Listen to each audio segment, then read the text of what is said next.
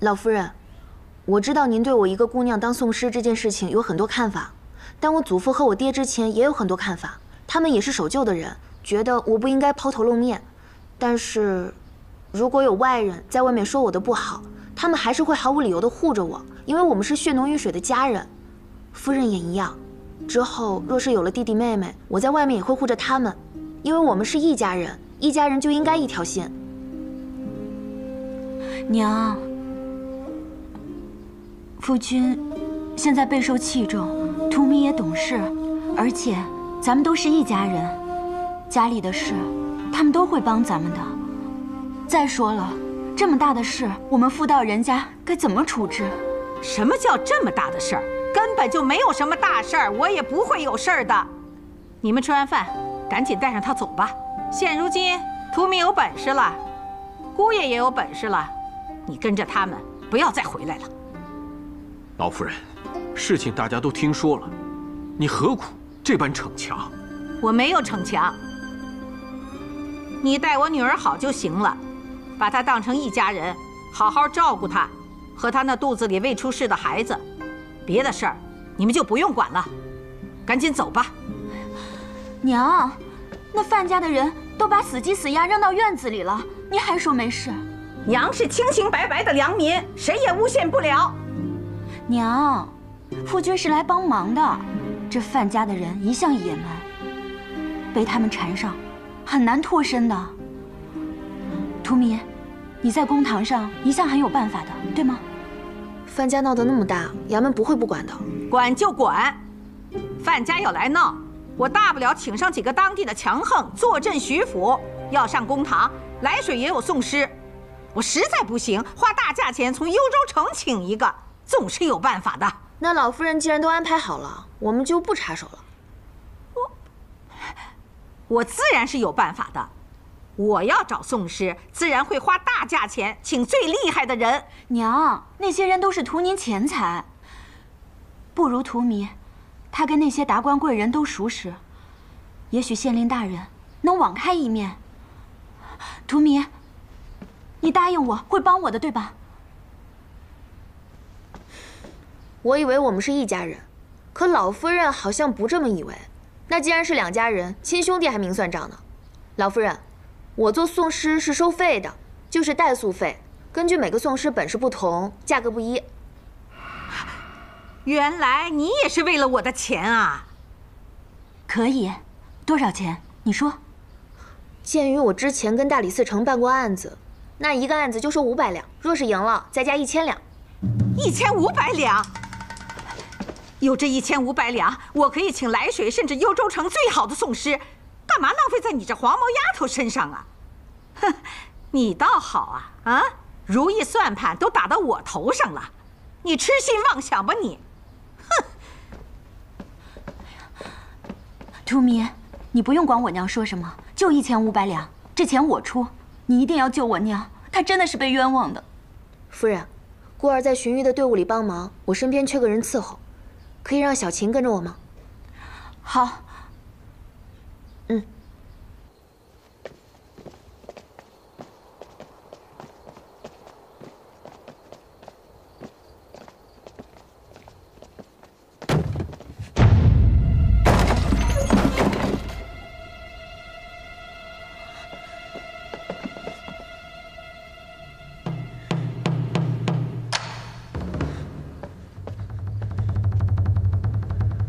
去外边找找。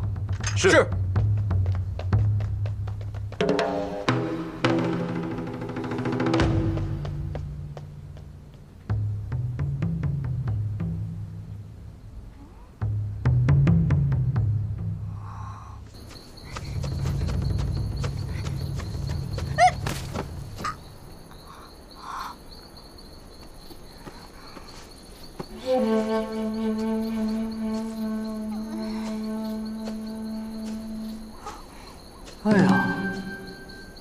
哎呀呀呀呀呀呀！你跟踪我？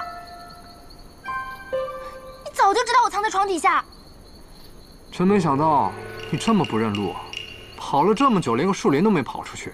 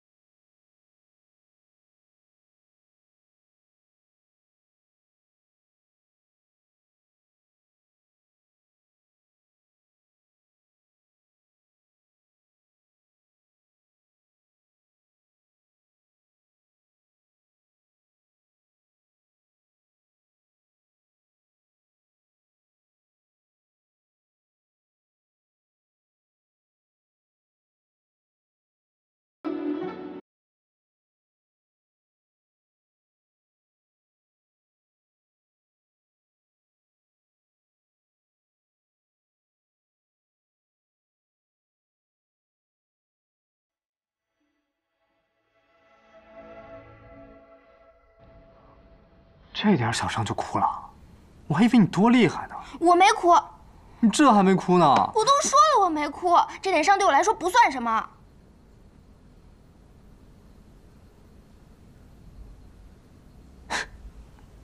好，没哭。记得每日擦药啊。拿着。我说了我没哭。好，没哭没哭。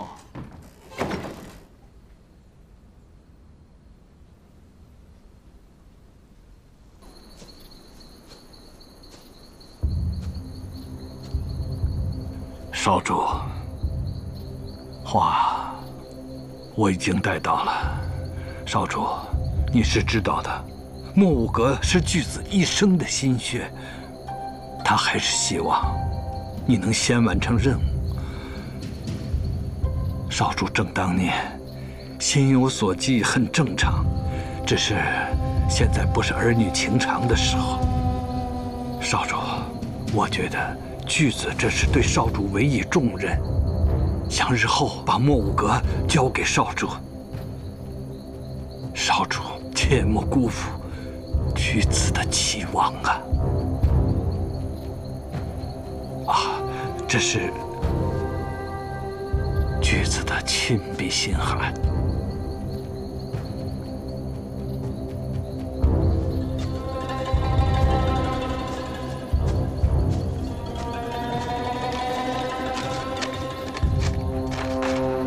砚台之事未有下落，未来大业皆依附于此。你既为阁中人，应为阁中事出力，这也是你的使命。只有担任大任者。方能执掌自己。待你事成之日，便是你我父子相见之时。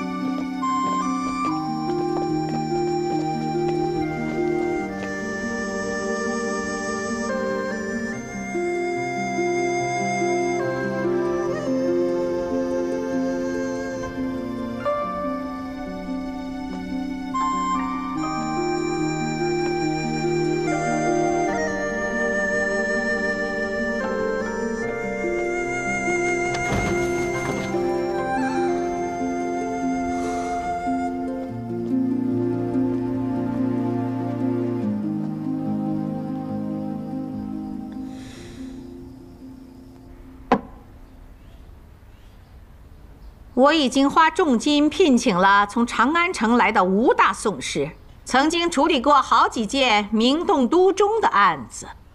娘，夫人，老夫人这么做，定有她的考量。这样吧，你就先留在娘家，等此事了了，我再过来接你。有什么事，找个人捎个信儿回去就行了。老夫人是个要脸面的人，我们在这儿，她反而不快。爹，图密，夫君，这怕是不成吧？老夫人，老夫人不好了！老夫人，老夫人何事惊慌失措？这成何体统啊！外面有衙役来了。他们来干什么？涞水县衙受理了你们的案子，所以依照律法规定，双方当事人都要被散尽起来。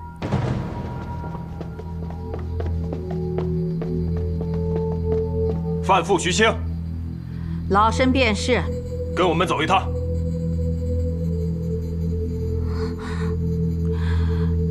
夫人，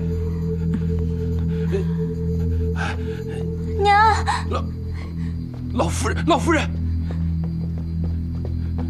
娘，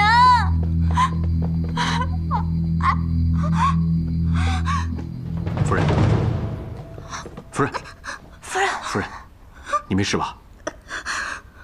小琴，快扶夫人回房间。哦，夫人，夫人经此打击，身体抱恙，老夫人又被羁押，现在徐府里已经乱作一团了。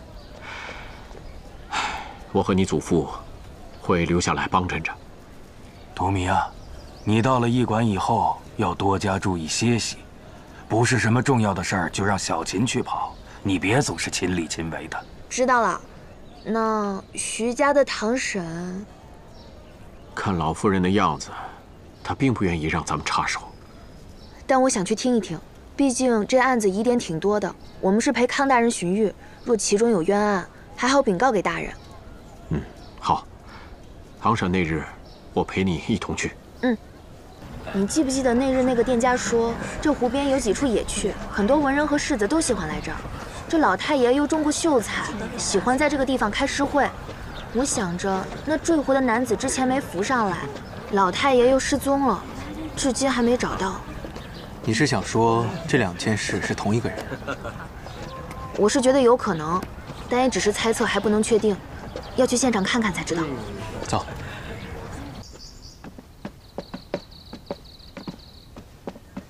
叶大哥，这儿就是案发现场。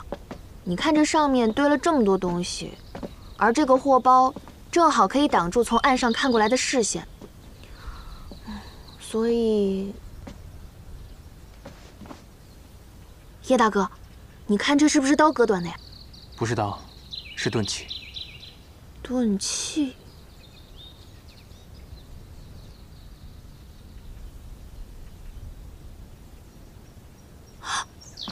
我想到了。什么？事情的真相。不过，你得先帮我找个人。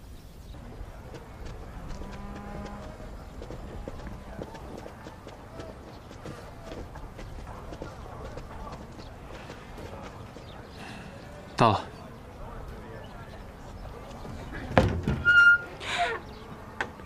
春，春小姐，你为什么不在徐府伺候，而是躲在这儿？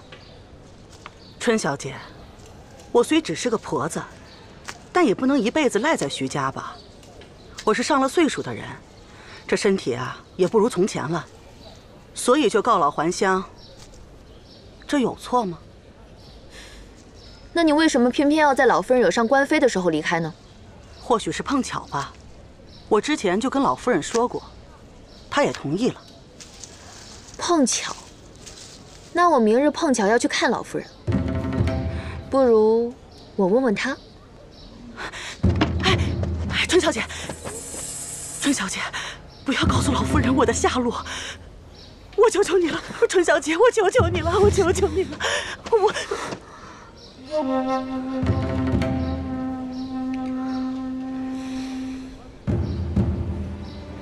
我问你什么，你说什么。徐家前些日子到底发生了什么？老太爷喜欢以诗会友，经常因为开诗会不怎么回家。前些日子，老太爷一直没有回家，老夫人就着急，便私下派人去寻找，结果没有什么消息。老夫人爱面子，就把这事儿给瞒下来了，只是说老太爷出去游玩了。可这世上到底没有不透风的墙，范家贫困，为人贪婪。这些年，一直是老太爷偷着给银子接济着。老太爷失踪，范家人断了银财，心想这摇钱树就断了，就把这事情往大里闹，让老夫人赔一笔银子。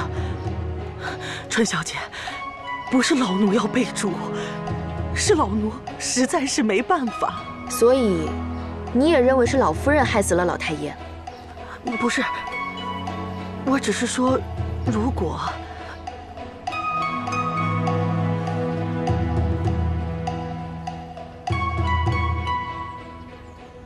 这王婆子跟老夫人那么多年，却还是在她出事的时候选择捞一把跑了。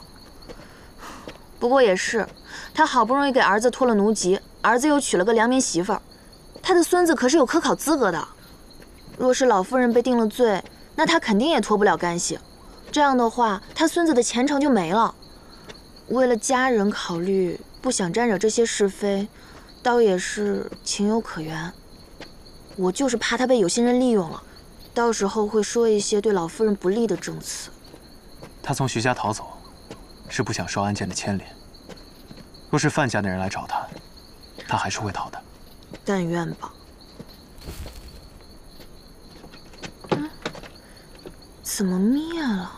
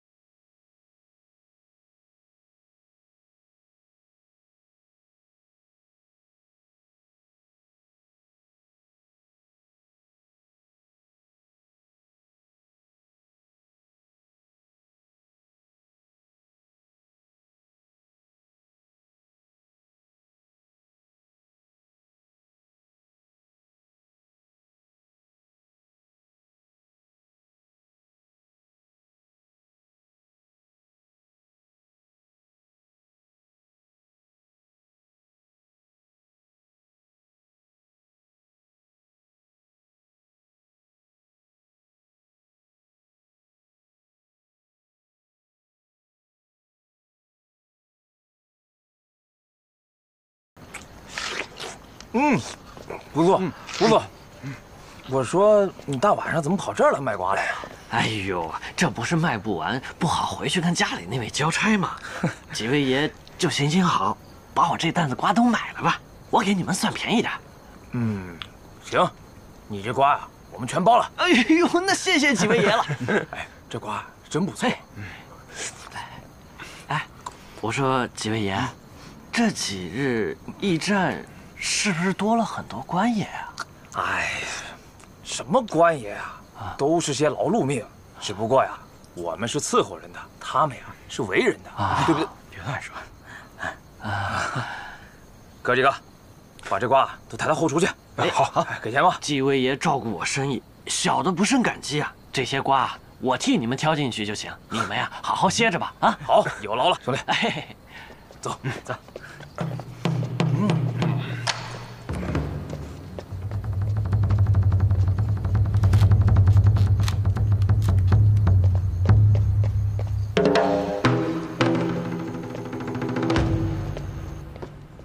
这几日厨房的菜色都根据您的要求换了，小姐好歹起来吃一些吧。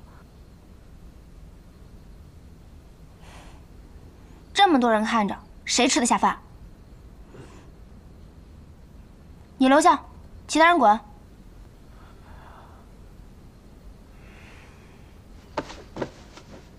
怎么？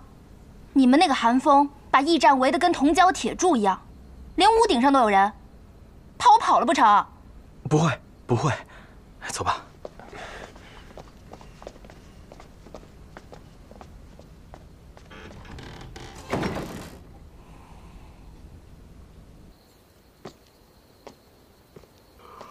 嗯。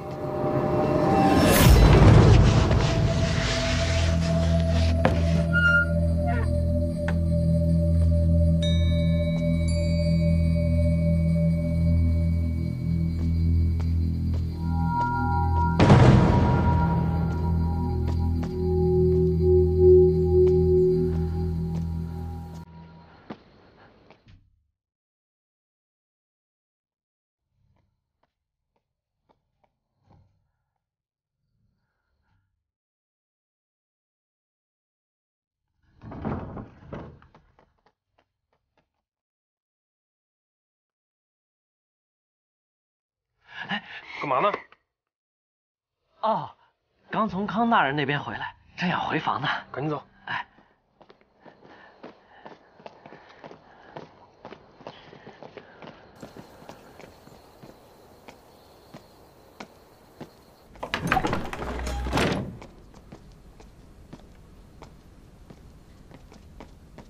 不必掌灯了，我这就歇了。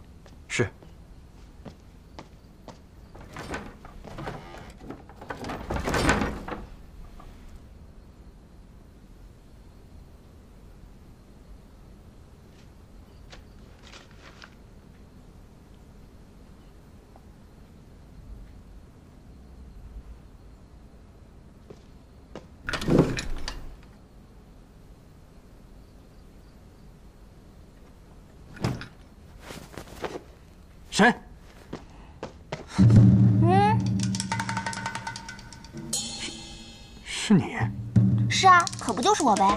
你来我屋里干什么？当然是来找你啦。韩大人可别怪我鲁莽，要怪只怪你公务太忙，山不来救我，我就只好来救山啦。胡说八道！是你非要把我留在这里的，我不找你谈正事儿，岂不白白浪费了我的时间？这几日，我百般迁就你。你一句老实话都没有。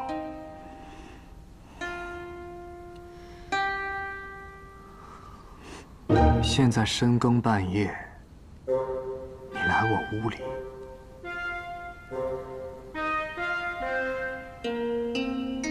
谈正事？当然，我还能骗你不成？你翻了我的桌子？不是我，真没有。真的不是我，我要是为了偷你东西，偷了我早跑了。说你的正事。我说正事儿之前，你还没谈条件呢。你还敢跟我谈条件？你干什么？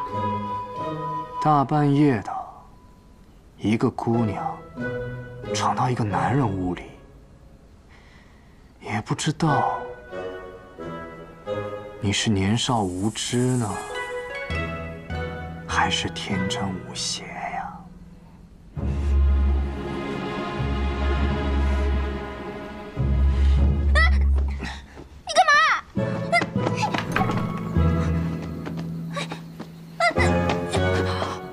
在我的耐心用完之前，想好你要说什么，再来见我。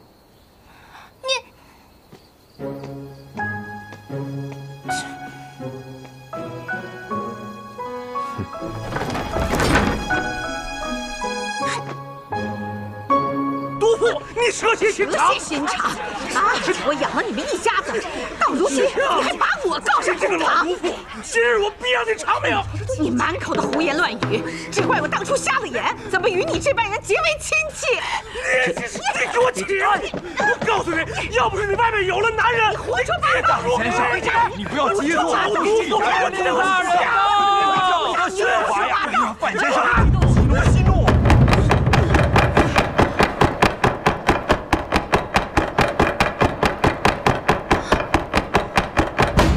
当下何人？报上名来。回大人，民妇徐青。回大人，草民是范家二子范柏。你二人与范建是何等关系啊？范建是我的夫君。回大人，呃，范建乃是我家哥哥。所谓何事？闹上公堂。哎，大人，这个贱妇杀害我家哥哥，我今日必定让她偿命啊！你带我做主。举手。大人请见谅，范柏因思念兄长，所以行为上有些过激。你既是范家宋师，你且说说，所谓何事要状告这徐氏？学生代表范家，要说的话都已经呈在了诉状中。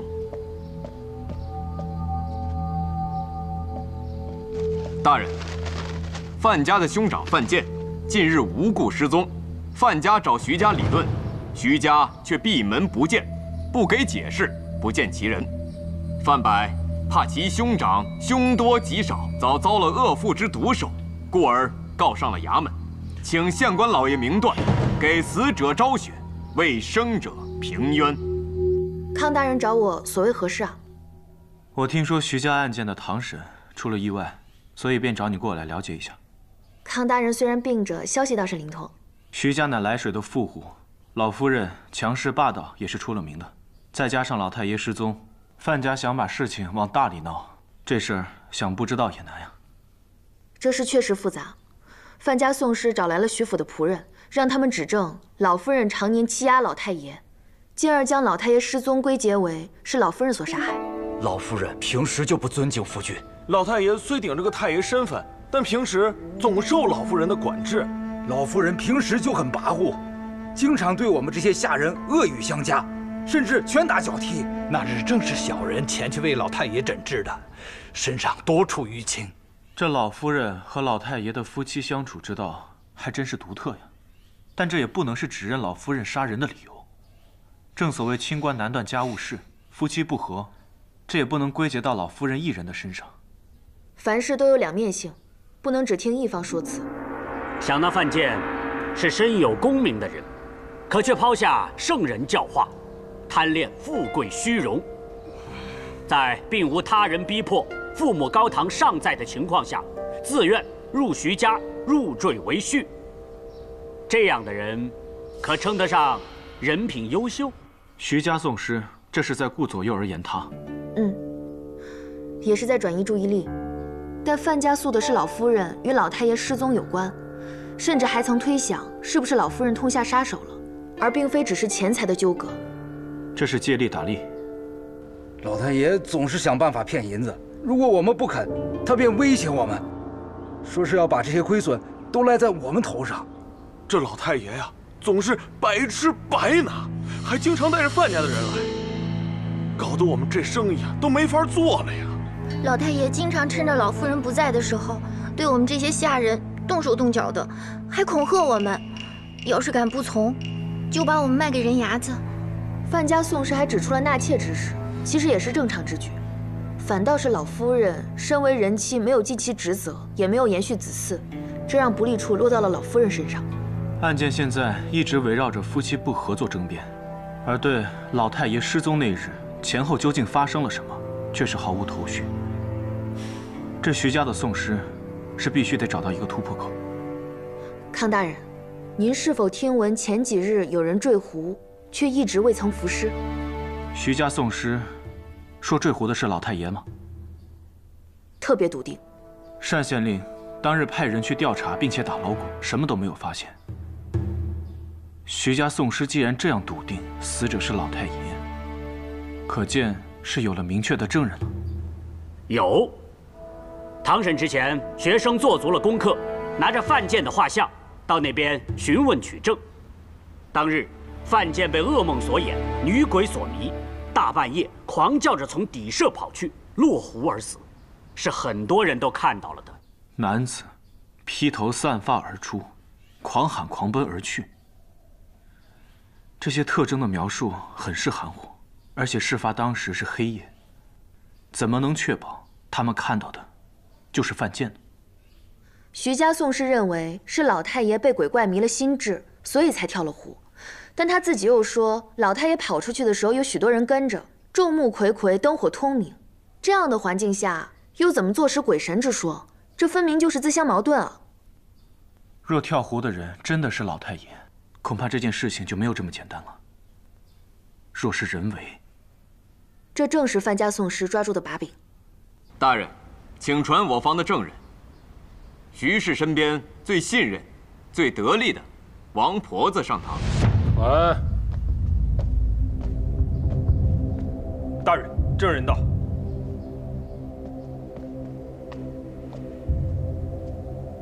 王妈妈，你知道什么，就说什么。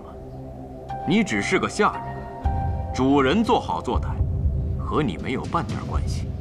把事情说清楚，你就可以回家了。若不然被打成同谋，你一家子可就完了。大人，我家老太爷喜欢游山玩水，在外逗留是常有的事儿。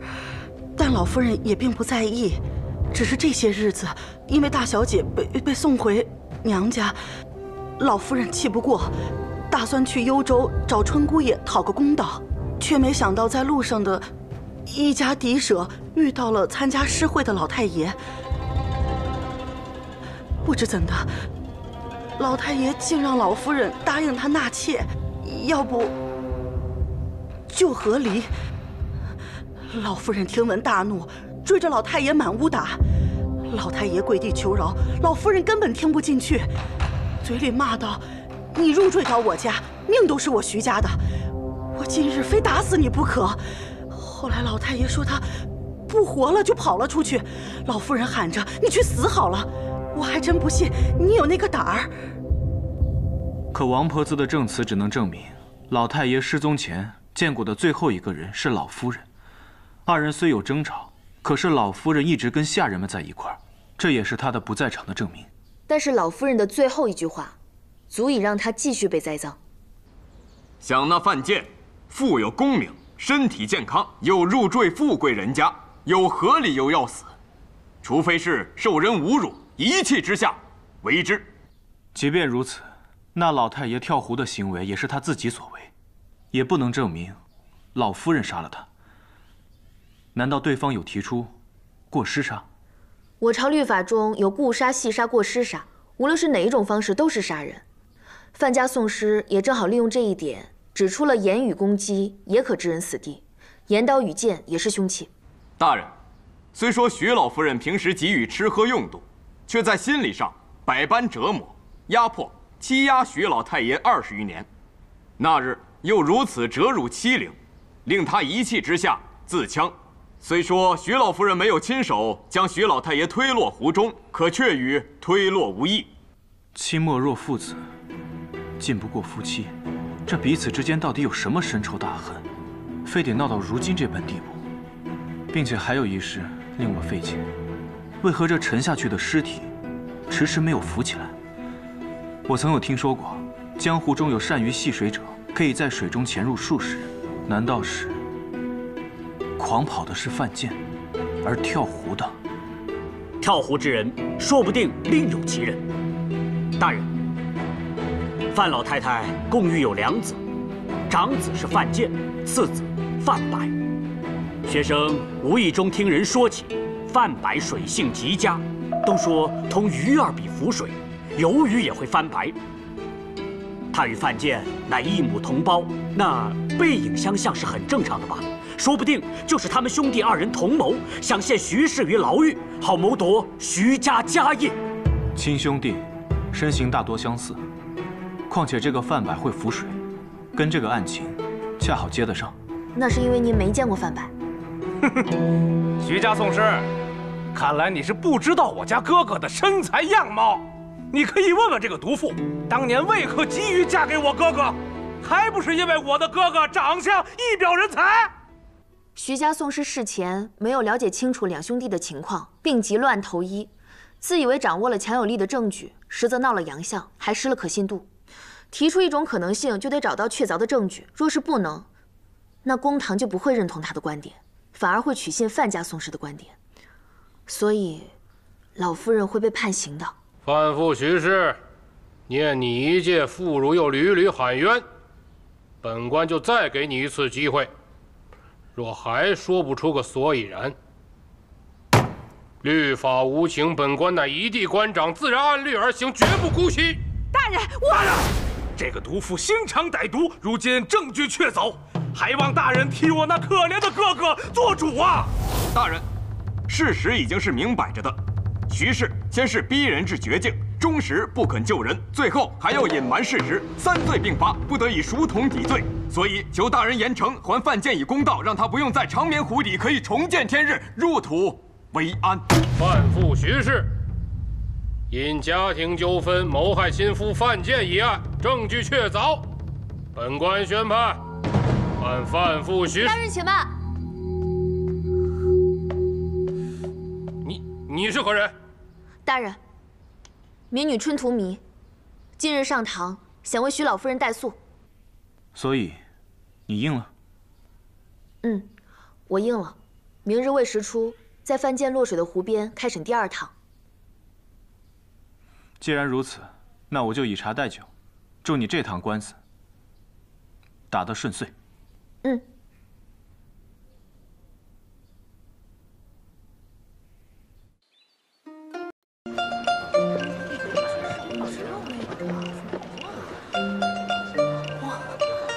长得好俊俏啊！叶大哥，人找到了吗？找到了。太好了！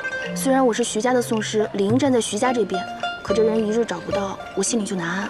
没事，别担心。嗯。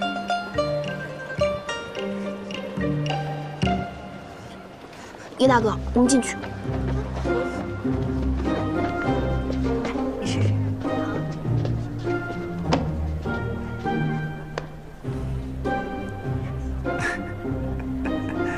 笑什么？我是笑。算了算了，不说也罢。哪有话说一半的呀？下一半也必须得说。又不是什么好话。那我也要听。我是笑你小孩子气。我们，我没有，是刚刚那两个姑娘，她们俩明明就是，就是于理不合。那要是于理不合，那我们这也是于理不合吧？行了。这样就算我于理不合了。就拿这个吧。嗯，这位小娘子可真是有眼光啊！您看上的是净颜泥浆，可是我们店里的最后一份了。您夫君若是想买的话，那可得抓紧了。呃，不是，我们不是，这可是我们玉泥坊的招牌。这净颜泥浆是取自伊利水云母，以水非法，历经一百八十日的反复沉淀与过滤而得，每年的产量都是极有限的，通常九成都是送到宫里给娘娘和公主们用了。你能买到这最后的一份呢，那也是真真的幸运呐。既然是独一份的幸运，又是御用的，想来是极不错的。你长安辛苦了，我买给你当做礼物。嗯，多少钱，老板？一两银子。韩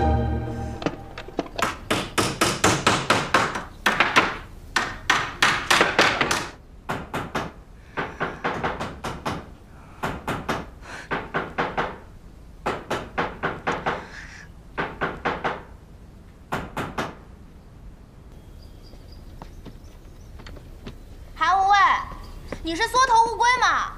你一个大男人，每日待在房里，大门不出二门不迈，只知道用手下人敷衍我，不知道的以为你绣花呢。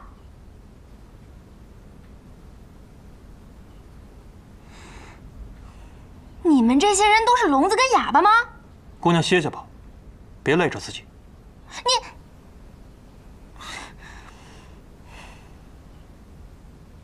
走水了，走水了！快来人呐！快来人！哎，这可真不是我。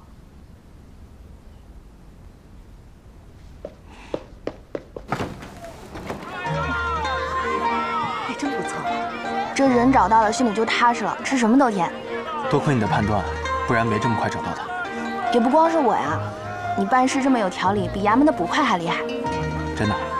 嗯，你在办案子这件事情上特别有天赋，没人这么说过吗？叶大哥，等你以后事办完了，江湖也跑倦了，你可以去做个捕快，咱们俩可以成为搭档，做一些让人有盼头的事情。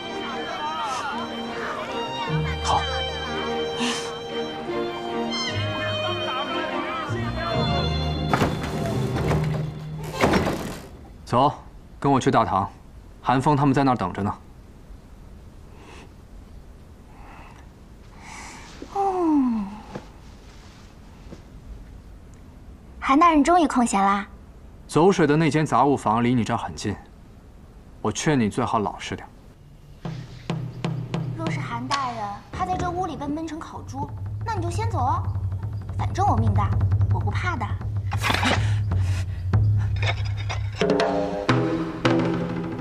哎，这次可真不是我。你要干什么？哎，放开我！救命啊！朝廷命官变登徒子了！你放心，我对你不感兴趣。走。哎，我还问问你还是不是人啊？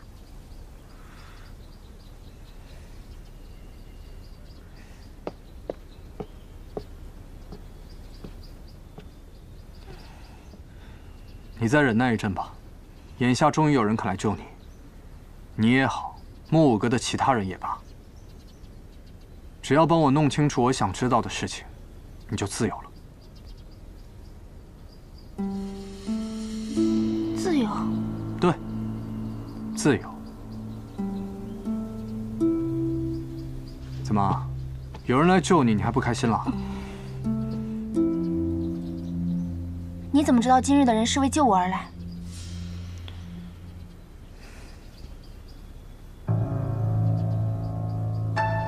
我们打个赌吧。赌什么？赌今日之人是为救我而来，还是为杀我而来？你身无长物，拿什么当彩头啊？若你赢了，我给你当牛做马，供你驱使。我又不缺家奴。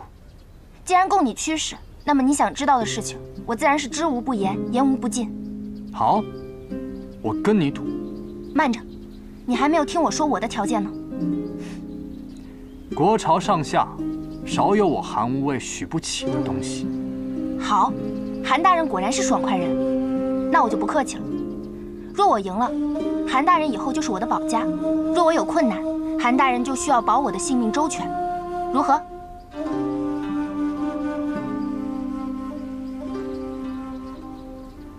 君子一言，快马一鞭。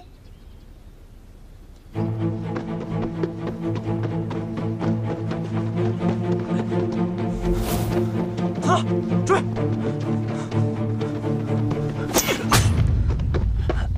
明日一切准备就绪之后啊，我会吹这片叶子作为信号。你要是听到了，便可以安心了。嗯，那我走了。嗯，我真走了。要不你把这个给我，我回去学学怎么吹。你用这个吧，走了。哎，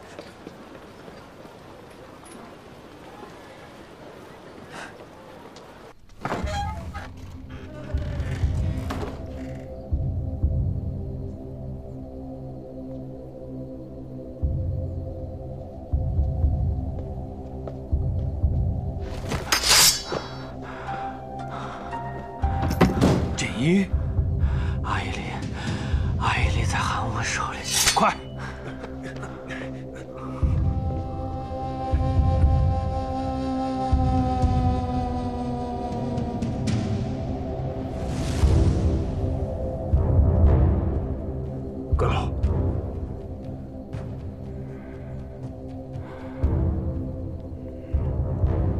到了他该服解药的时候了，你们检查好。他有没有用药？是。那行，您再来啊。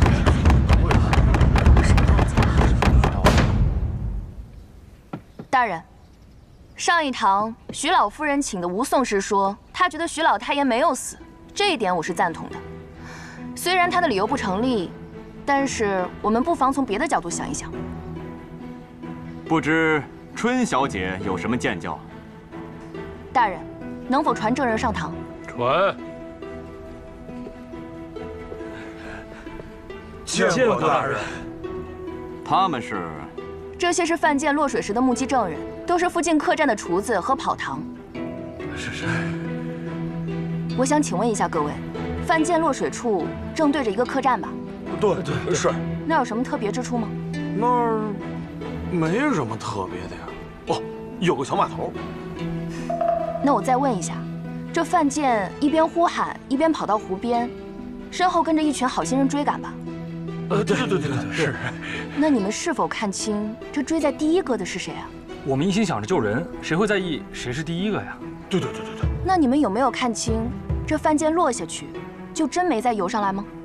虽然天黑，但确实是没有人从水里冒出来。哦，对。这得是多大的冤屈啊！是啊，这地方晚上甚凉，这时候水上水下走一遭，那肯定冻得直哆嗦，走不了路。更别说跑了，不然他们怎么没发现呢？假如我是范建，我要设计一场假死，来获取一些利益，我会怎么做呢？春小姐，公堂之上，岂是你一个姑娘家可以儿戏的？赶快回家，让你爹爹给你找门亲事吧！啊！对呀，你一个女的当什么宗师啊？历朝历代也没这规矩啊！就是，放肆！春家女啊，你要是真的说不出个所以然来，我看不如不如我来给大家讲一个故事，让大人和在场的各位都听一听，看看有几分可能是真的。从前有一名男子。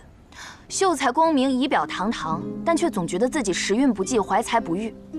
他不想过从前那样贫困的生活。恰巧，他的父母和兄弟都是爱财之人，就给他出了个主意，撺掇他去本县的富户家里当一个上门女婿。这富家小姐看上他了，这事儿就成了。俩人一过就是二十二年。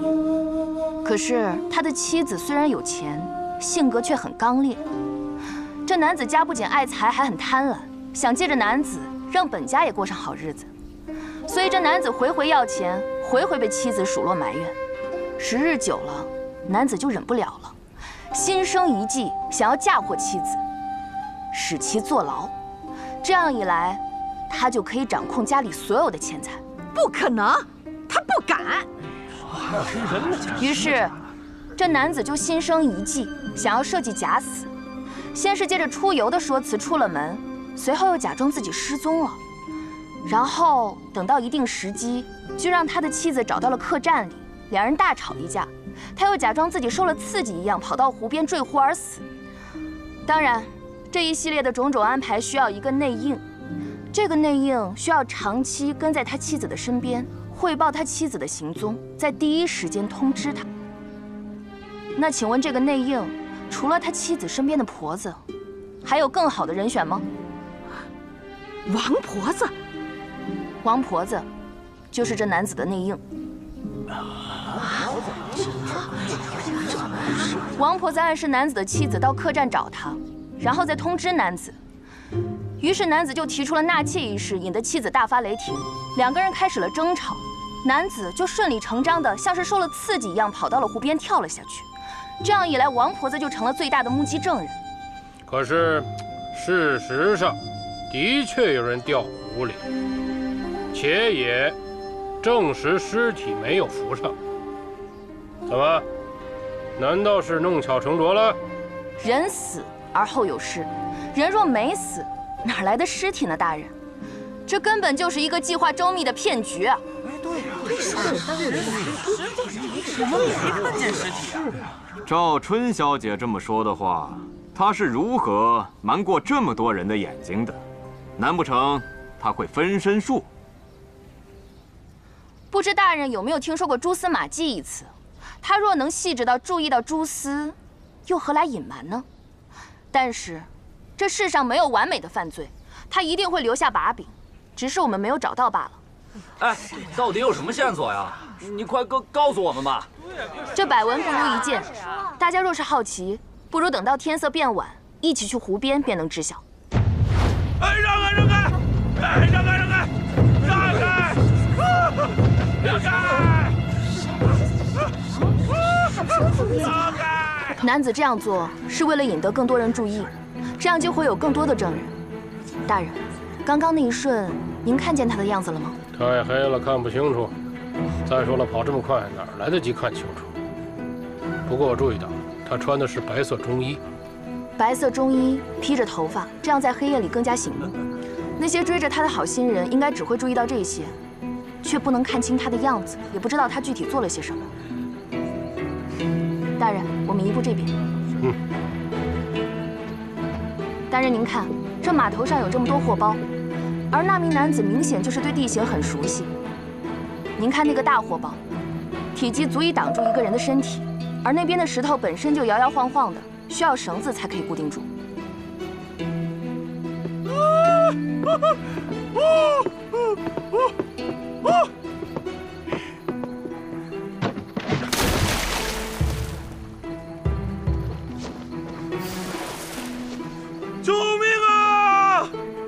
来人，救命啊！哎哎，这儿这，那儿那儿这儿啊，在哪儿啊？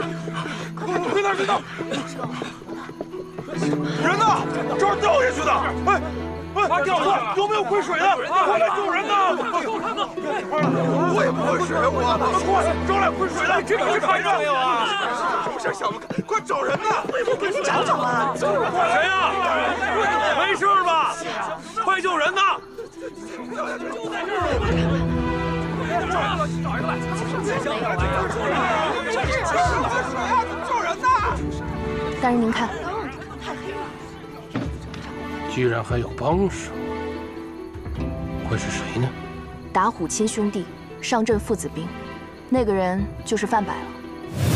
这些都是你的猜测，你可有证据？大人，我有证人的证词。大人，附近客栈的三位跑堂和伙计，他们的口供里面都有，在事发当日的下午，看到了徐老太爷出现在湖边。来回徘徊，还往返了好多次。至于物证呢？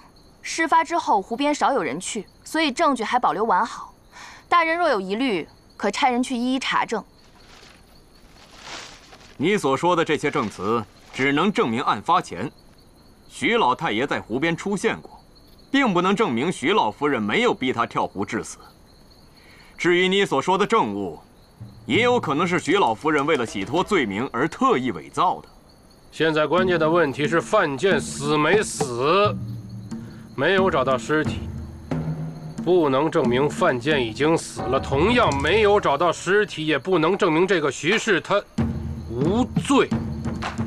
所以，春家女，你是否还有更加有力的证据？大人，您要的证据就在公堂外。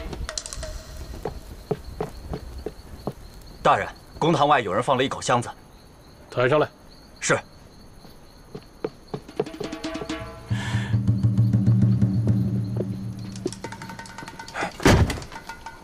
哎呦，这么大一箱子，装什么东西？什么呀？这是？要打开就打开。这么大一个，打开了，打开了。什么呀？你怎么了呀？怎么了？你你这个不要！放肆！哎，怎么回事？哦，这里面怎么有个人呢？那是，哎哎，这是个人呢，这是。你是何人？学生范建。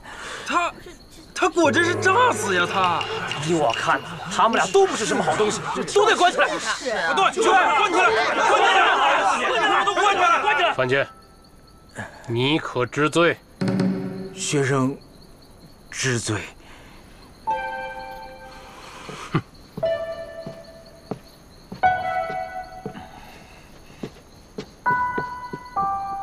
大人，学生惭愧，竟然给这样的宵小之辈带俗。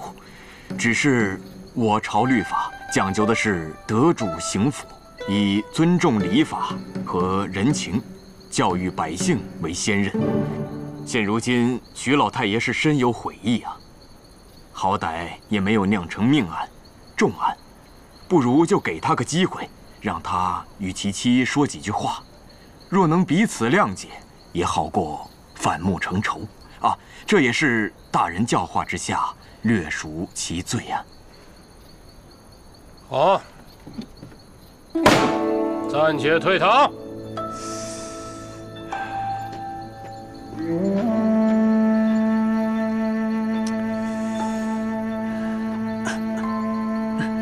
叶大哥，你受伤了？没有。你是去抓范建，怎么会受伤啊？不是他，我自己的事。别担心。图迷，爹。这位是？哦，康大人手下。哦，怎么是这副打扮呢？康大人怕我暴露官职，会让百姓觉得官府做事偏颇。嗯，康大人想的真是周到啊。图迷，单大人找你，你先过去看看吧。去吧，我正好有些话要跟你父亲讲。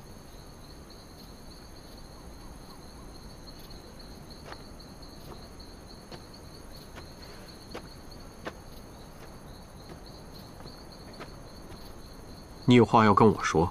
是。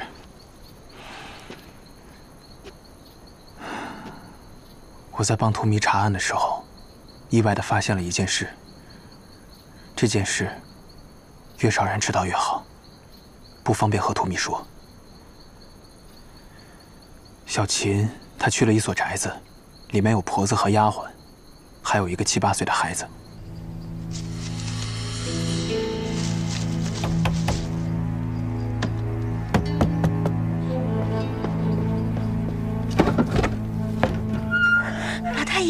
快进来。没人看见吧？没有人。哎呀，可担心死我了。老太爷，小琴，辛苦你了。我还以为我再也见不到你了呢。不会的，放宽心啊。哎，你怎么耽搁这么久才来？春图迷不知道是不是察觉到了什么，这两日让春大山有意无意的盯了我一阵。哼，春大山。让他自求多福吧。徐氏口口声声说对春大山多么情深意重，还不是耐不住寂寞，在徐府期间被别人搞大了肚子。这个春大山平时就喜欢多管闲事儿，这回啊，让他做这个冤大头，养别人的孩子。哎，小喜哭了，快快快！哎，快快快快！希望春队长。这次不要有恻隐之心，心中能有一个决断才是。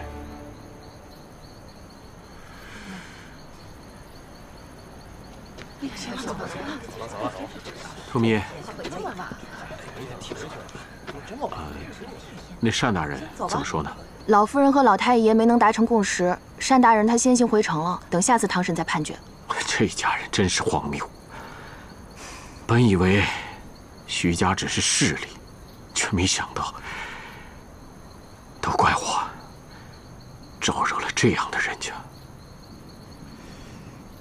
哎，对了，那个小兄弟是怎么找到徐老太爷的？嗯，自我怀疑老太爷没有死，我就一直在琢磨这个事儿。我们之前不是见过范柏吗？嗯，他耍无赖是没问题，可是他耍无赖得有老太爷作证才行。所以我就拜托了他，还拜托了康大人，让他们盯紧范家人。这样一来，便找到了老太爷。原来如此。爹，你们刚刚在说什么呀？小孩子，不该你管的事，不要管。走吧。这时候我又是个小孩子。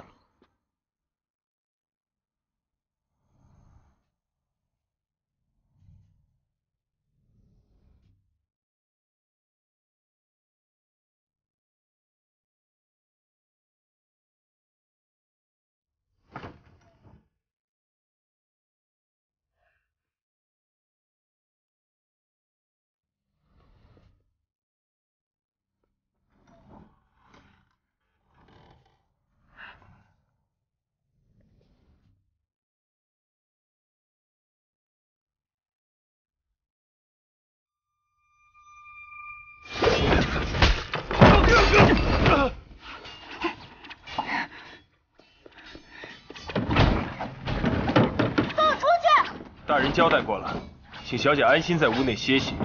有任何事，大人自会处理。放我出去！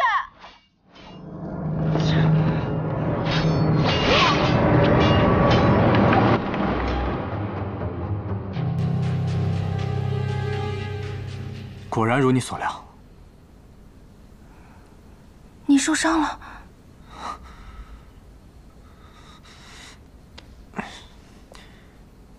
只是刺客的血罢了。你不是天不怕地不怕吗？何必做出这副假惺惺的样子？随你怎么想，我只是不希望有人因为我受伤。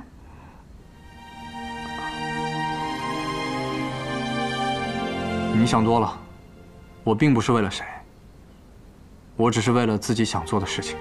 我也有我自己想做的事情。我一直想见一个人，他这生都过得太苦了，我想快点见到他，使他能够解脱。你会守约吗？你会帮我吗？我既然赌输了，自然不会反悔。如果你帮我，我也会帮你。你留活口了吗？没有找到活口，不是自尽就是逃走了。这只是第一回，不杀了我，他们是不会罢休的。木五哥的杀手确实厉害，若再来一批，这里的防守就支撑不住了。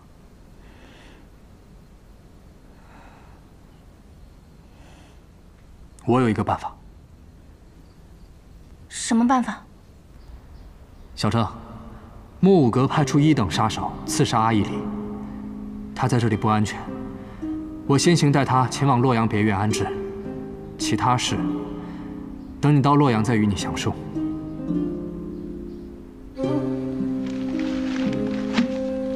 这个阿依离是什么身份？韩大人有留下话吗？这，韩大人没交代，只说情况太过危险，所以先带小姐离开，保证她的安全。他带了多少人？如果路上遇到危险，能应付吗？所有暗卫和韩风大人都随时左右。再派出我的两队亲兵，赶上他们，一同保护。是。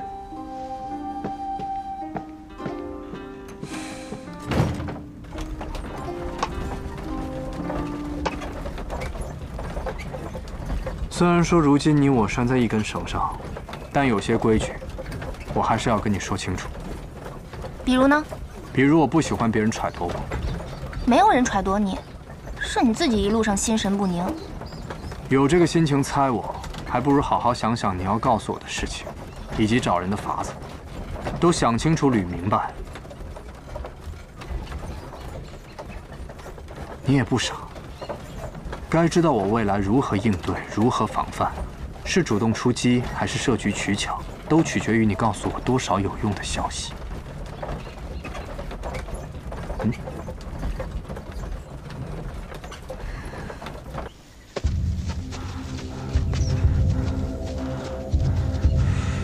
哥了，不必行礼。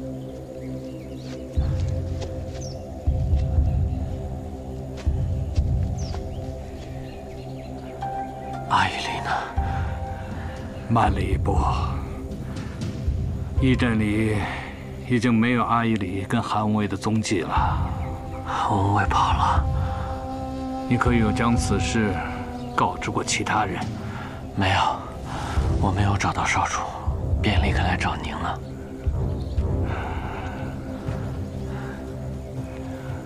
有人打草惊蛇了。我们的人赶到时。只看见了打斗的痕迹，怎么可能？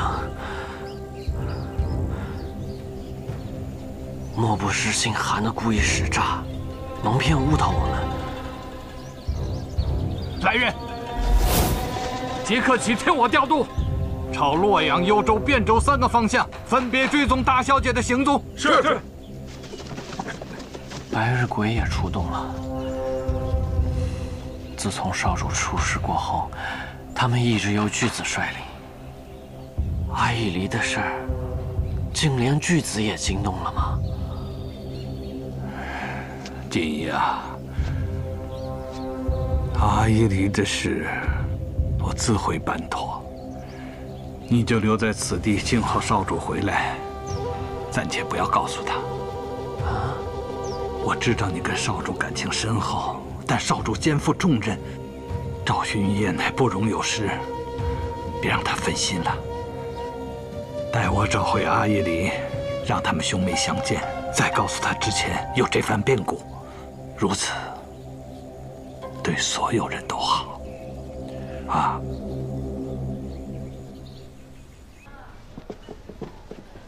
哈 哈春小姐，春对症。堂上未有机会自报家门，在下姓梅。梅宋氏，您找我什么事啊？徐老太爷想请你见面一叙。徐老太爷陷害妻子，该怎么判？单大人自有决断。要见我女儿做什么？此事说到底只是夫妻恩怨，也没有酿成大错，不一定非要堂上过审吧。徐老太爷的意思，这是家事，不如私了。单大人觉得，如果这样做，也更加妥当。单大人，是。徐老太爷现在正关在牢里，如果没有单大人同意，我也不敢请春小姐去见面。既然要私了，就该找徐老夫人谈了。没关系，爹，既然是单大人的意思，那您就陪我走一趟吧。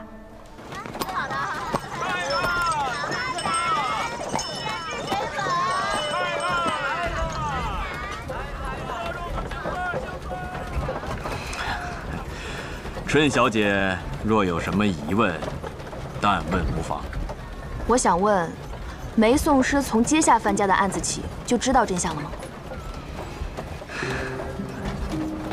昨日刚下了定论，您就有了后招，可见是准备充足、经验丰富。竟然完全不把公道和律法放在心里。您是不是想说，自古以来做讼师就不是什么光彩的事情？不过是雇主花钱，我们消灾罢了。不论是把黑说成白，还是把白说成黑，都不重要，因为最终的目的就是为了赢，赢才有的赚，而真相不重要。确实，坏事不是自己做的，那些苦主如何，又与你何干呢？春小姐一定会认为，讼师不光只为了赚钱而存在，应该维护正义，除强扶弱。如果有钱有势，就可以。不顾公平正义，甚至掩盖真相的话，那这世道一定会一片黑暗。可这黑暗与我何干？这黑暗不因我起，不为我终。果然，道不同不相为谋。身为宋师，虽非大才，但至少也要把公道二字放在心里。这世上若没有公道，世道黑暗，我们没有一个人可以幸免。春小姐，你扯远了。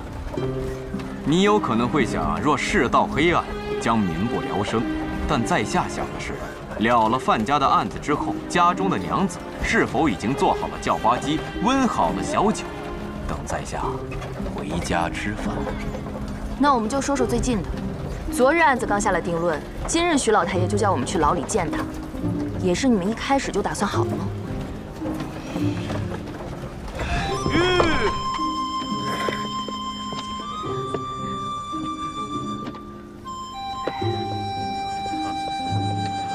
站住！官爷，坐坐。图密，你帮徐老夫人洗脱罪名，已经仁至义尽了，你又何苦趟这浑水呢？爹，这梅宋师拿单大人压着我，肯定是打点好了银子。他如此费心，我倒想知道老太爷究竟要做什么，而且我也想知道一下这涞水县衙到底是清廉还是腐败。真是有钱能使鬼推磨，男女都混押了，还没有狱卒，也不知道使了多少银子才能单独对话。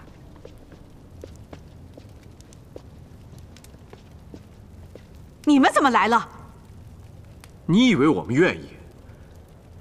老夫人，你可别忘记了，若不是我女儿，这个人他的奸计已经得逞了。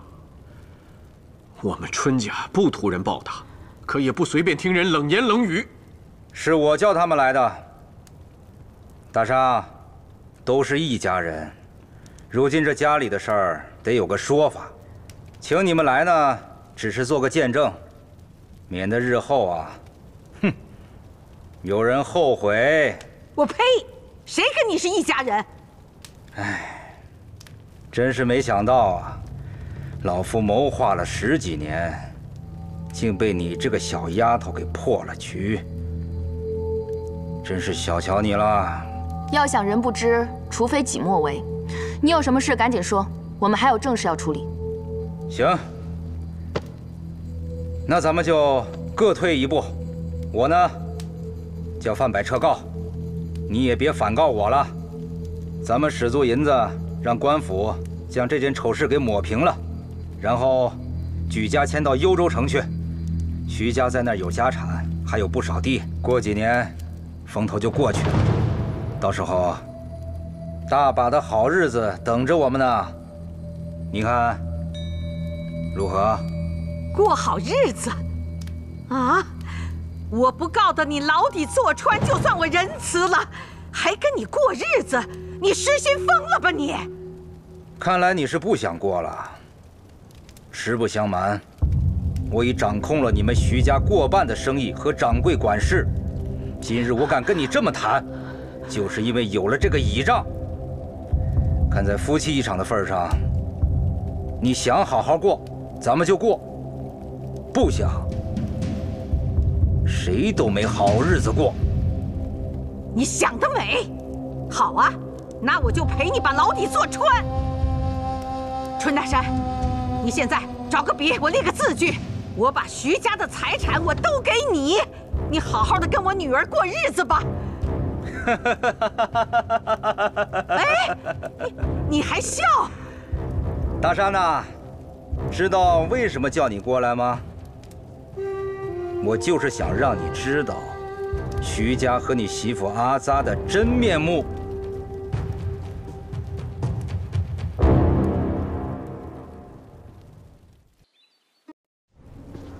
想我范建在你们徐家二十多年，该知道的我都知道，不该知道的用心去打听，我也能够大致掌握。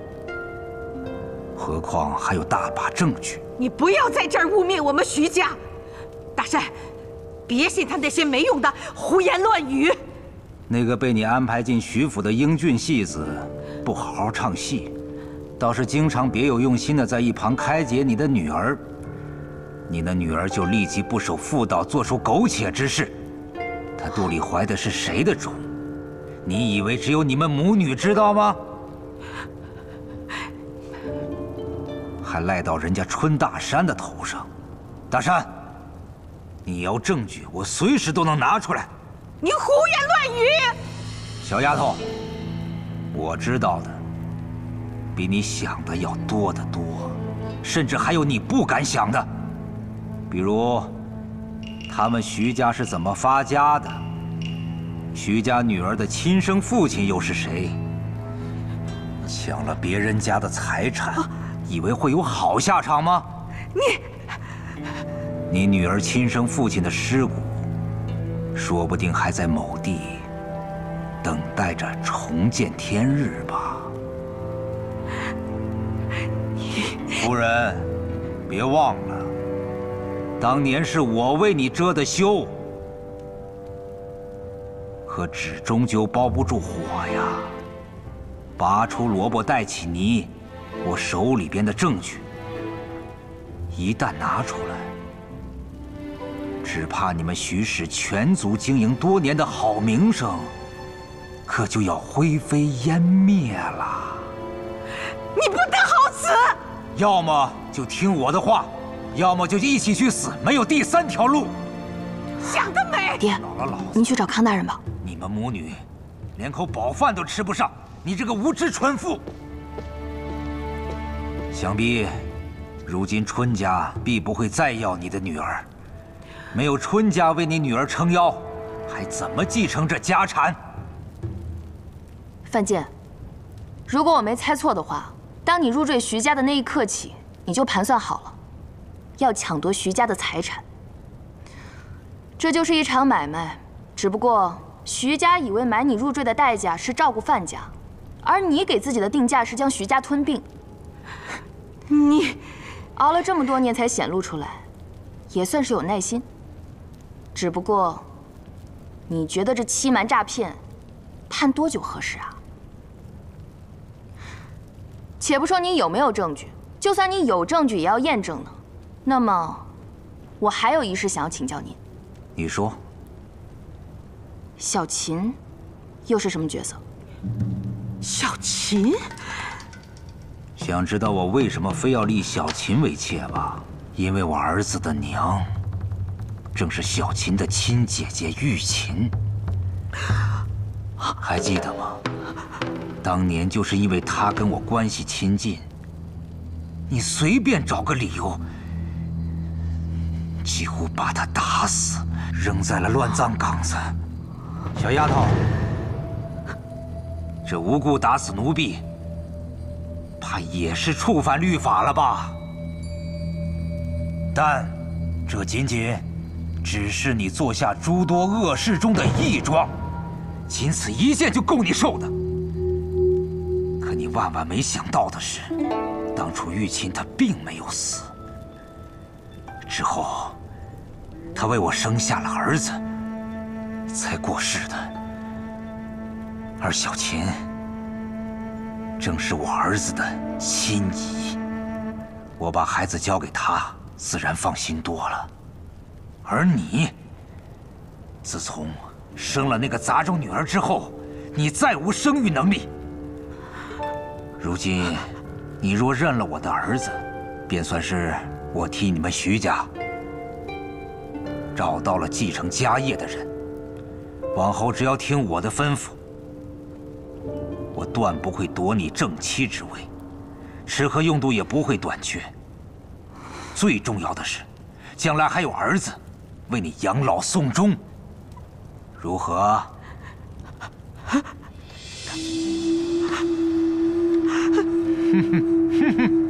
哈哈哈哈哈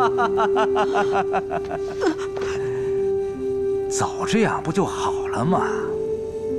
行了，你们也都看到了，此事已了。梅总师啊，麻烦你赶紧撤诉吧，明日我们就能出监。啊，对了，小丫头，想必你父亲定会休了那徐氏。从此啊，我们两家再无干系。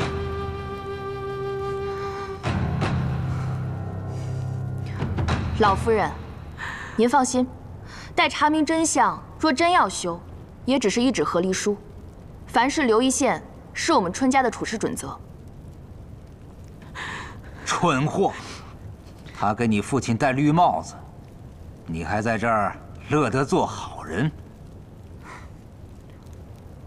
我若不做好人，又怎么会被你算计呢？你把我们父女俩绑上贼船，现在自己想抽身，没那么容易。就是叫你们来做个见证，何来绑上贼船一说呀？做个见证，他叫您来，也是做个见证吗？想必许了您不少银子，不然如何诱您入局啊？范建，你当着我们两个人的面说这些肮脏事，到底想干嘛？就是见证。你拉我们来见证，无非就是想用我们来威胁老夫人。这样一来，就算你把他逼急了，他可以雇人去杀了你，却不能雇人杀了我们。如意算盘打得挺响，可惜您使银子让这儿空无一人，这无人作证，我可是什么都没听见。梅宋师，您呢？梅宋师，我再给你加。两千两银子，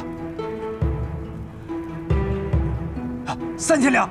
有些钱，只怕有命赚，没命花。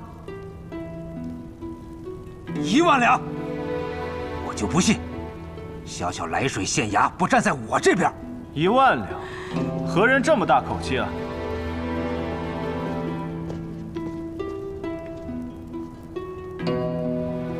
你是何人？哼，以为随便找个什么人来，就会吓唬得了我吗？小小对证吧，芝麻绿豆大的官儿，也当自己是官儿啊。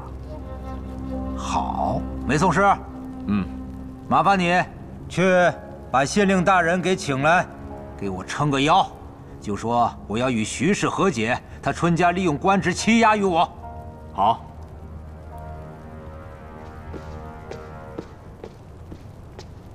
有的人不想为我作证，可想为我作证的人大有人在。枉费老夫一番谋划了。范建，你把县令大人找来，你就不怕我把之前的事情都抖出来？徐氏亲生父亲的命案，你是告诉者而不救助，杖一百；那你知情不报还不救助，罪加一等。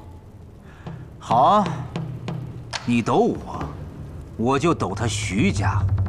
你徐家害人性命，无故打伤丫鬟，怕是罪更大吧？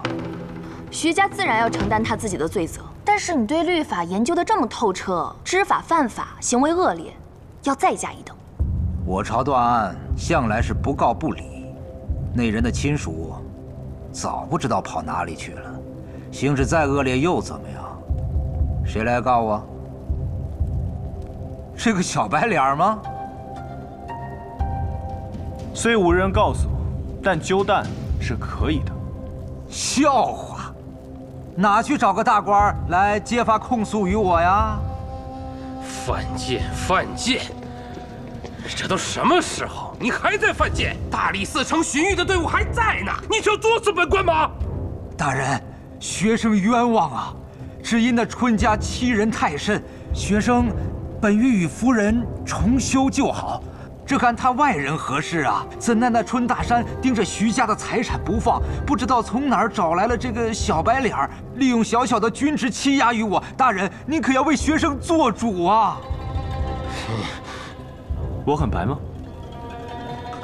康大人，下官不知康大人到此有失远迎，还还请康大人恕罪。没赢才好呢，要是赢了，上哪儿去看这出好戏呀？春荼迷听命，属下在。涞水县衙腐败一事，此人曾参与谋杀徐氏生父一事，徐家无故伤害丫鬟一事，我命你带巡御史查清。三日内，洛阳官员到涞水接管此案后，你随我一同巡狱，可有二话？是，大人，我定尽心竭力，不冤枉任何一个好人，也绝不放过任何一个坏人。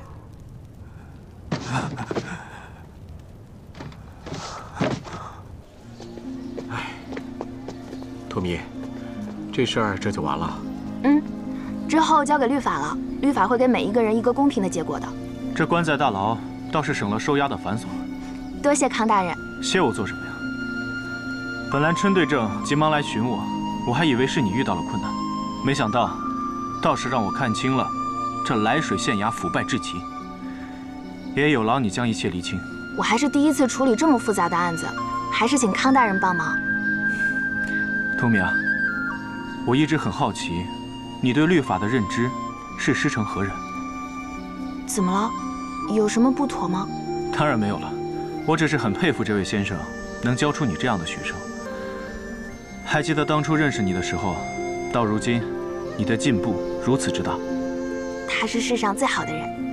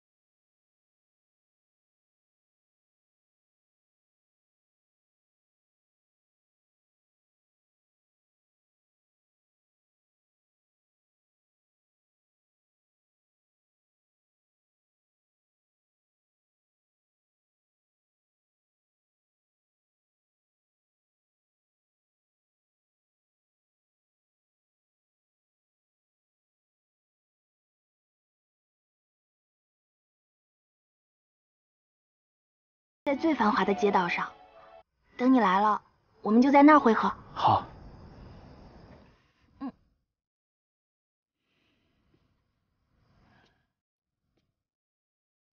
你记住，不管你在哪儿，我都一定会找到你。嗯。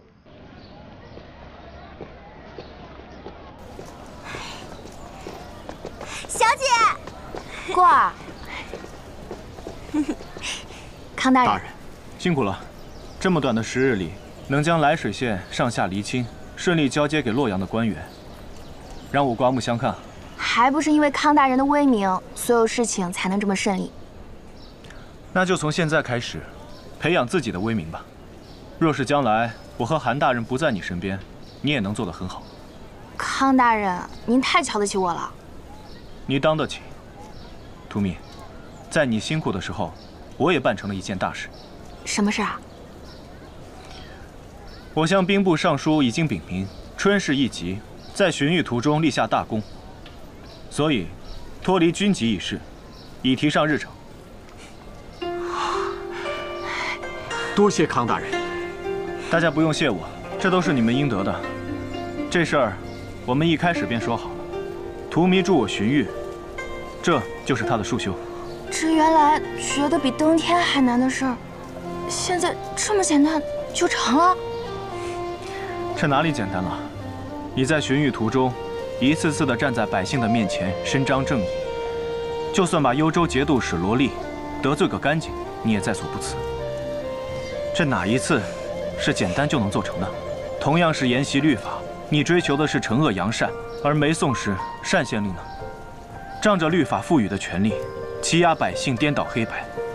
你光凭揭露他们的罪行，让他们受到惩罚，这就足以是大功一件。你维护律法，律法必定不会负你。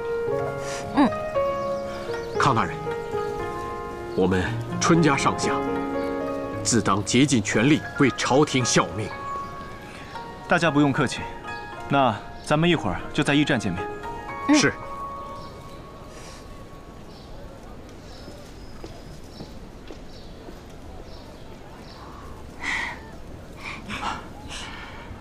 爹，图蜜，咱们回去收拾一下，准备出发。嗯。小七，我们走吧。走吧。锦衣，你伤好的差不多了吧？少主，你脸色怎么这么差呀？没事，快熬过去了。你再躺会儿，我一会儿就走。少主，砚台的事儿，你有信心办得好吗？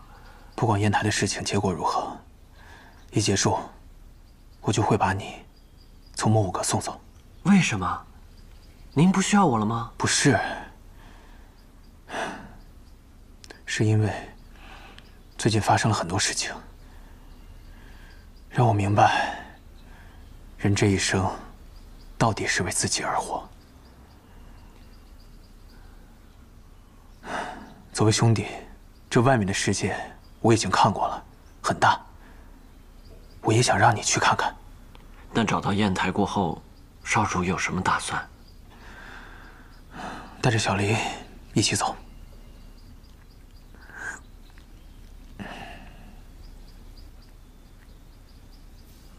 怎么了？少主，事到如今，我也不忍心瞒您了。阿依离被韩无畏抓走了。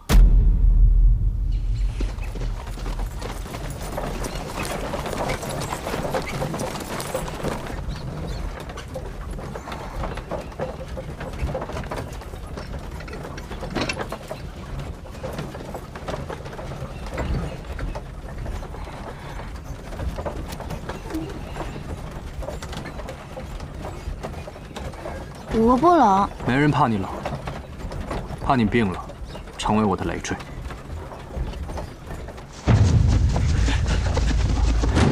大家小心！小心！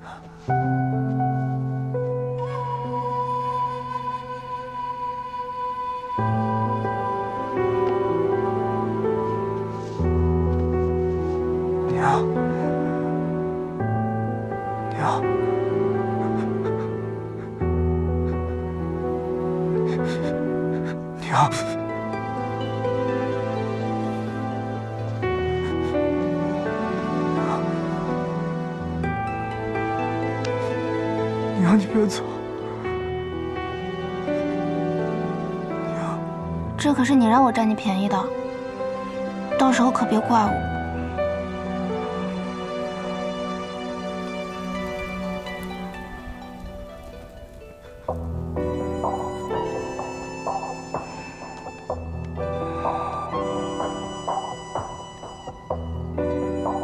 放心吧，我不会走的，会一直陪着你的。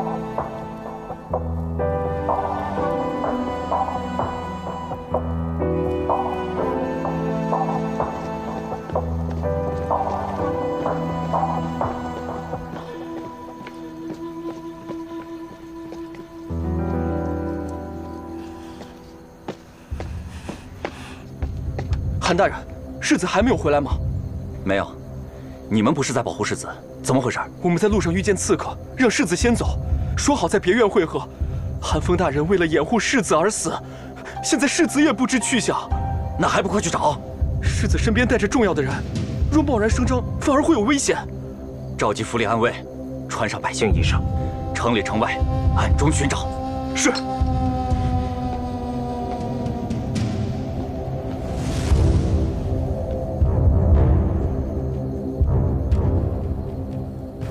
几位官爷慢用啊！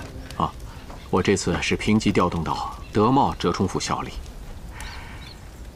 这兵营呢就在洛阳城外，所以之后就不跟你们一起进城了。大山啊，你这次上任定要尽心尽职啊，才不辜负康大人对咱们一家的厚爱。我会的，爹。现如今脱离了军籍，是武官的品级，这跟以前就不一样了。以前我一巡只训练两日，现在呢就要常住在军府里效力，而且啊，汴州和洛阳相隔遥远，恐怕以后只能在过节休沐时才能回去见你们了。那倒不碍事儿，你来不了汴州，我跟荼蘼一起去洛阳看你便是了。倒也不用那么麻烦，我有个办法。你这个机灵鬼，又有什么鬼点子？爹不是调职去洛阳了吗？之后应该也不会频繁调动了。汴州和洛阳往返一次挺折腾的，一年又见不了多少次，不如咱们举家都搬去洛阳啊！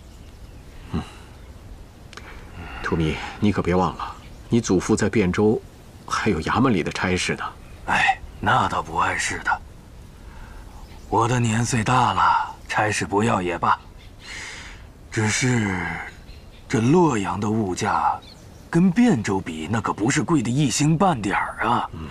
只怕咱们家买不起那儿的宅院呢。祖父，我们在汴州不是有宅院吗？要是真搬去洛阳，那些都可以变卖啊。这，爹，您怎么看？我倒没什么意见。那就这么定了。等到了洛阳，我跟顾儿去挑，肯定挑一个让你们都满意的。你挑，好好。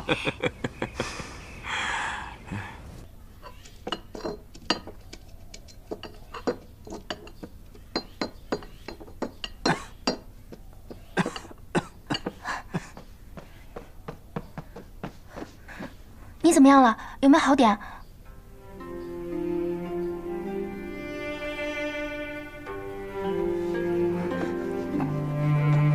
没事儿，小伤。小伤？你知道昨日自己流了多少血吗？没那么娇气。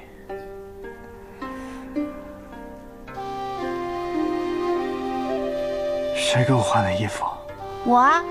情况紧急，治伤为重。放心，我嘴巴紧，绝对不会把你身材不好的事情说出去的。反正你还做了更丢脸的事。我身材不好，你眼睛……别着急，别着急。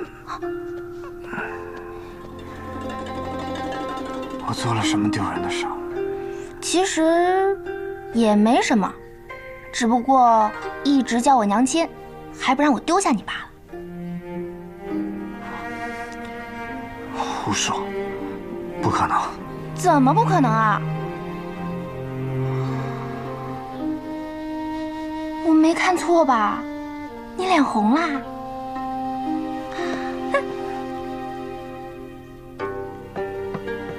郎君，你醒啦？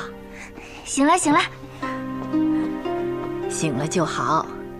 现在啊，赶紧喝碗粥，一会儿啊，好吃药。多谢大娘。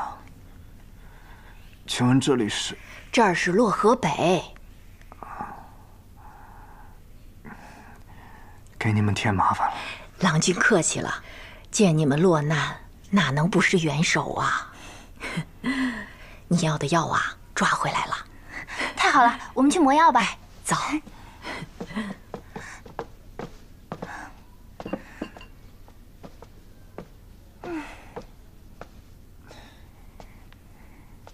韩大，无畏，刚刚说你丢脸是开玩笑的。我知道，你很想你的娘亲。我懂。虽然我从来没有见过我的娘亲，但是我也很想她。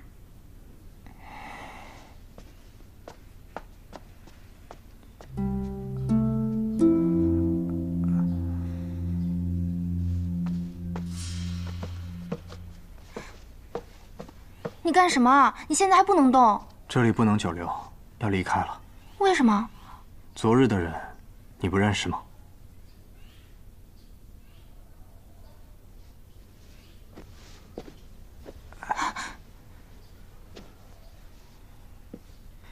除了夜叉，白日鬼是木武阁里最厉害的杀手，恐怕已经追过来了。事关你我性命，我要尽快送你去个地方。去哪儿？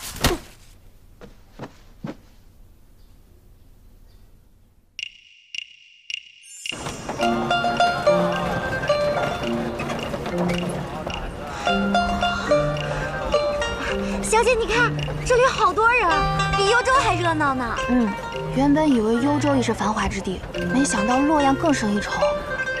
等咱们落下脚以后，我陪着您好好耍耍。我们来了洛阳，最重要的是去看宅院，以后要长长久久的住在这儿，还怕没得玩啊？顾儿，你帮我看看洛阳的玉泥坊在哪，到时候去逛逛。怎么了，小姐？你要买养颜品啊？咱们带过来的还有很多呢。我就是得去一趟啊。我我是说，御泥坊可有御用的养颜圣品，咱们来了洛阳，不得去逛逛吗？啊，好好好。韩无畏，混蛋，就这么对你的救命恩人吗？早知道不救你了。韩无畏，王八蛋！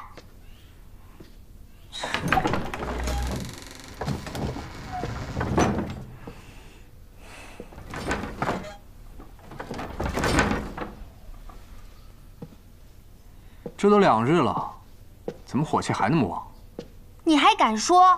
还不是你把我打晕，带来这个鬼地方，连个人都没有。我不是人吗？你，你就来送个饭，之后就再也没有出现。我这是为了保护你的安全。我如果在这待得太久了，会有人起疑的。哦，那我还要谢谢你来亲自给我送饭。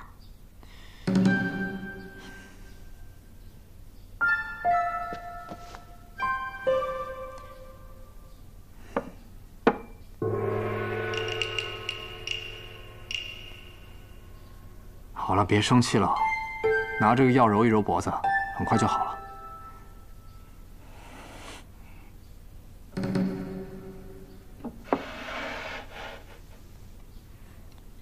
这些都是你爱吃的菜。你怎么知道我喜欢吃这些？我抓你的时日也不短了，你平常爱吃什么，我还是看得出来的。没想到你还记得这些。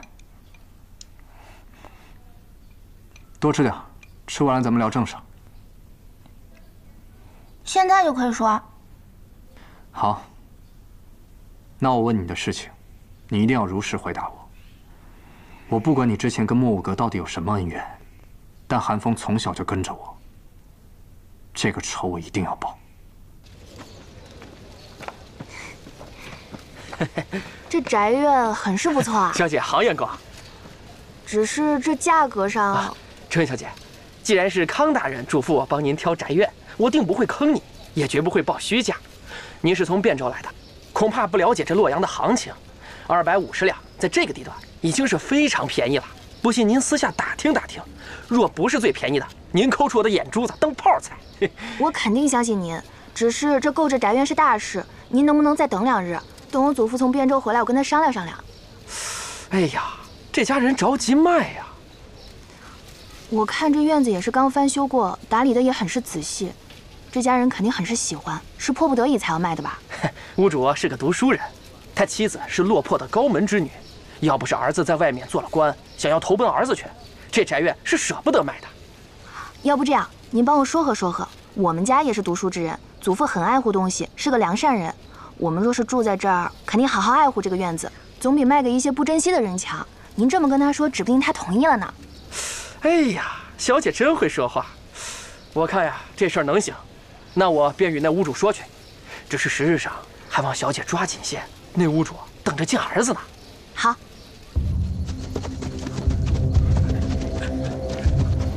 大人，大人，查到了吗？都查到了。韩无畏已回到府中，但只有他一个人。韩无畏必不会抛下大小姐，严密监视韩府，进出人马一个都别放过。如有遗漏，提头来见。是。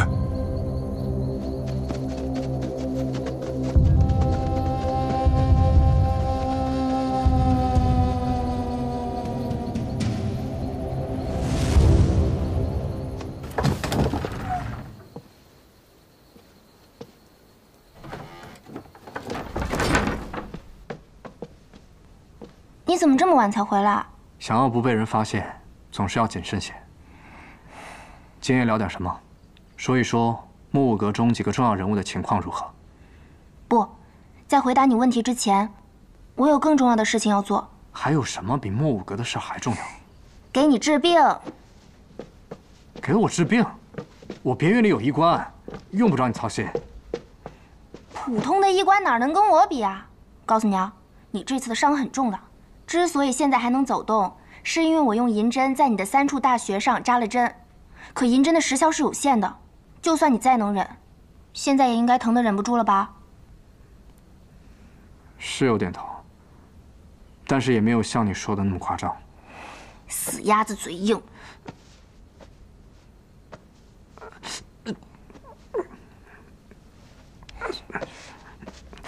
算了。你干嘛？你什么毛病啊？疼就不治了？莫非韩大人有男女之防？笑话！我韩魏在两都之中也算是风流有名，嗯难不成还怕你一个姑娘啊？哦，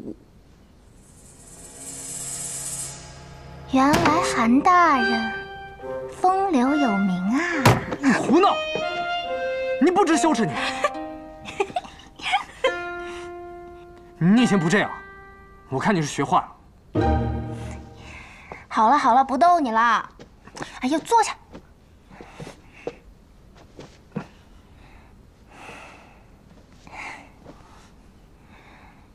这次你大张旗鼓的捉拿刺客，虽然为我们争取到了时日，但是如今你也看到了，与其坐以待毙，不如主动出击。现在莫武阁也没有音讯，你不可能把我永远困在这里。所以，就算我把莫五阁的所有事情告诉你，你又能怎样？引蛇出洞，总是要些时日的。我只听说过千年做贼的，还没听说过千年防贼的。嗯，我有一个办法，一定能引他们出来。什么办法？你放消息出去，说你对江湖上一个神秘组织的姑娘情根深重，要带她回长安，娶她为妻。什么？我知道莫武阁的很多秘密，他们的人若是听到了，肯定不会冒险让你娶我的，一定会来阻止的。不成。喂，这件事情我牺牲更大，好不好？若不是你打草惊蛇，我会下此狠手。随你怎么说，这个事儿想都别想。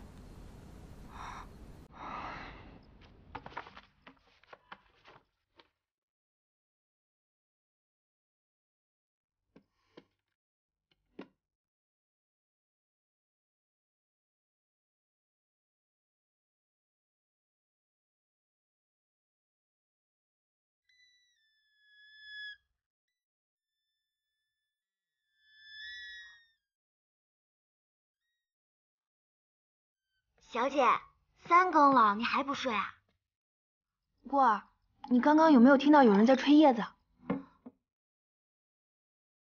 有啊，就是你吗？那可能是我听错了。小姐，你别太累了，早点歇歇啊。嗯。